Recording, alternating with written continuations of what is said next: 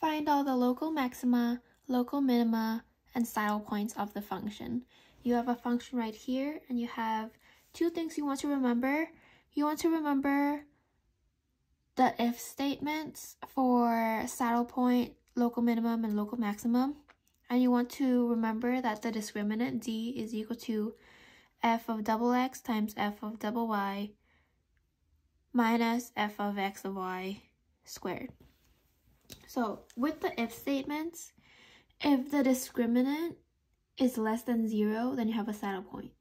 If it's more than 0 and f of double x is greater than 0, then you have a local minimum.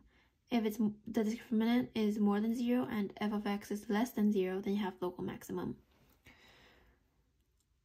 Now, what you want to do next is you want to find the critical points.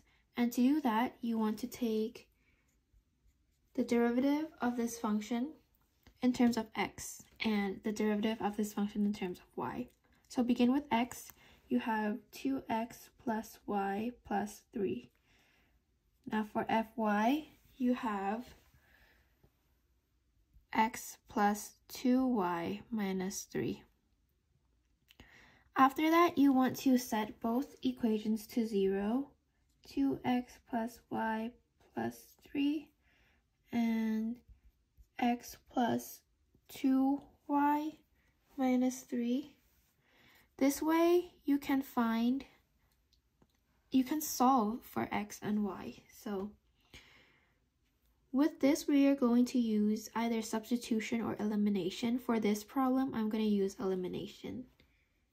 So you have 0 equals x plus 2y minus 3. Okay. So I'm going to use elimination on this and this. Multiply negative 2 on both all of the terms.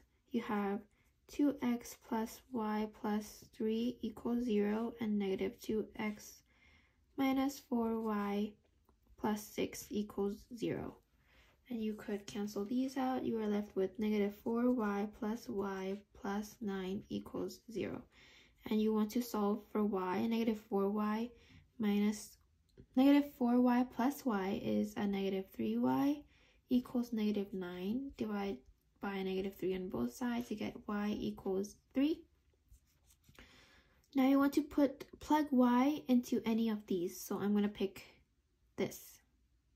Okay, so x plus 2 times 3 minus 3.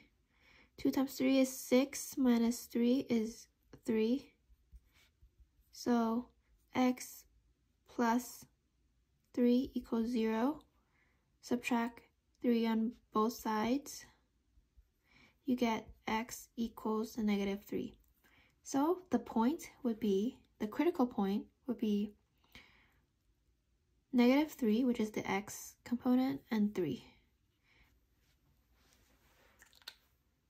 Okay, after you have the critical point, you want to find second derivative of the function in terms of x and y. So you already have the first derivative over here. We can just continue from there. Okay. So if this is the first derivative, f of double x would then be, derive this in terms of x, you have 2. f double y would be, derive this in terms of y, you have 2. Okay? And now go back to this formula.